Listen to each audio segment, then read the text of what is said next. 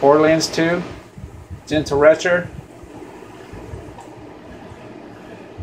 Drop on it from Hyperius. Not too bad. Personally, I don't like. I don't like retchers. Something about these things. I just don't like them. And see right here, this is where I'm at. I'm actually standing really close to the door. And if anybody's looking for the weapon, just come out here and just have fun taking this guy down.